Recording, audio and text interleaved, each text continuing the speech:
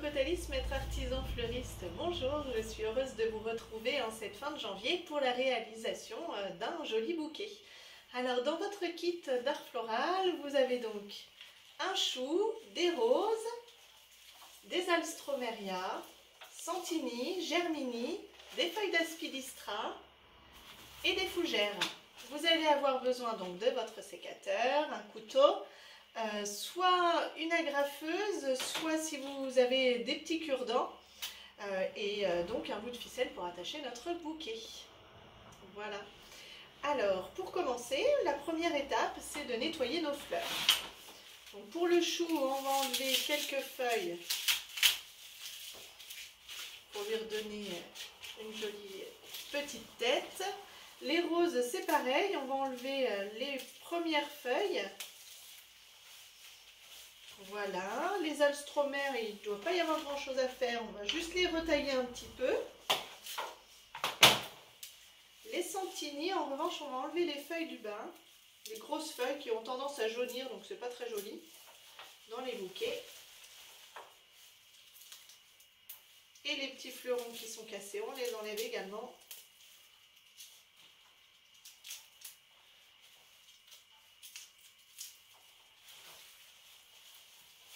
germini, eh bien, on n'a rien à faire.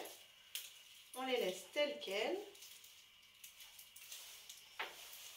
Et nous allons utiliser donc nos petits cure-dents ou notre euh, agrafeuse pour faire euh, des rouleaux d'aspidistra. Donc on enroule la feuille tout simplement. Alors avec le petit cure-dent c'est facile, on pique pour se retrouver à l'intérieur du rouleau et on ressort de l'autre côté.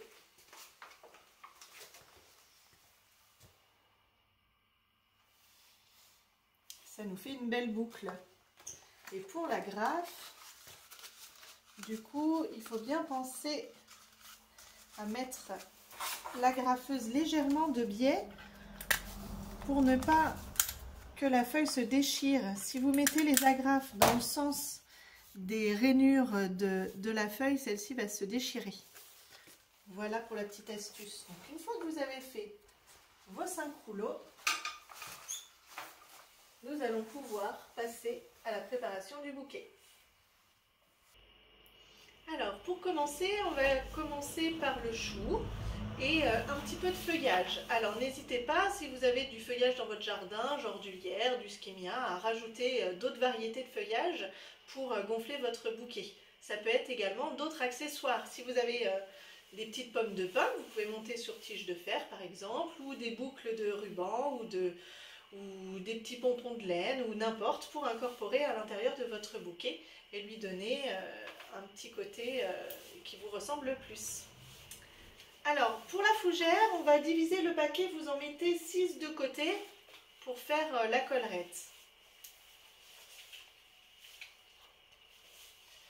Alors, on commence à mettre donc le chou, un petit peu de feuillage.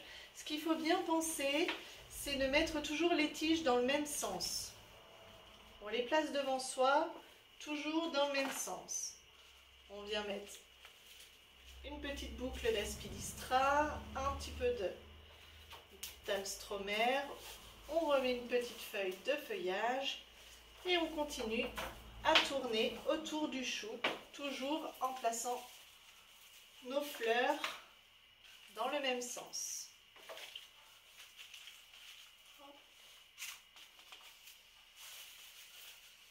S'il y a des feuilles de fougère qui vous gênent, n'hésitez pas à les enlever.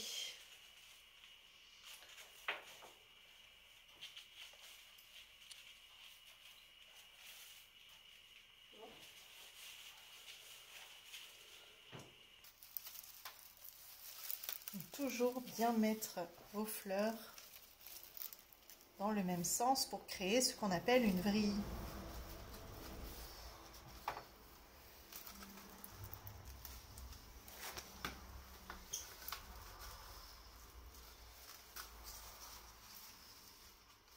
Alors, il ne faut pas serrer trop fort votre bouquet, sinon vous risquez de casser les tiges ou de les plier.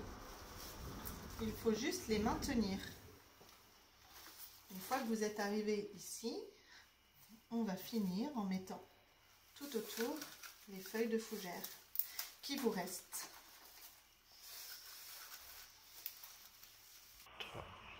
Voilà votre joli bouquet avec donc la belle vrille et on va pouvoir maintenant prendre la ficelle et l'attacher.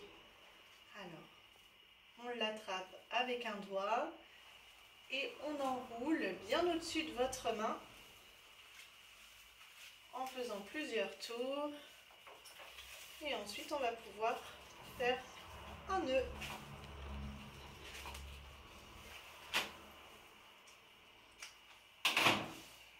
Et on va pouvoir ensuite retailler chaque tige en biseau avec votre sécateur.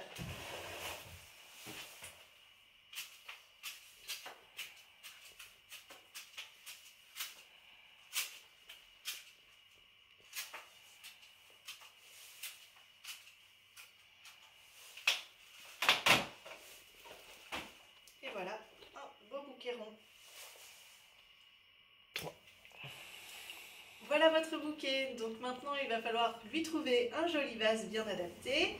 L'idéal, c'est de bien le, remplir d'eau et de mettre donc le petit sachet qui était dans votre kit pour nourrir les fleurs. Pour le garder le plus longtemps possible, n'hésitez pas à le mettre au frais la nuit si vous avez euh, une pièce plus fraîche, un garage ou, euh, une véranda, c'est l'idéal. Euh, voilà, il me reste plus qu'à vous souhaiter une très bonne année pour, pour 2021 et puis je vous dis à très bientôt en espérant euh, vous revoir très vite euh, en présentiel. À bientôt. Au revoir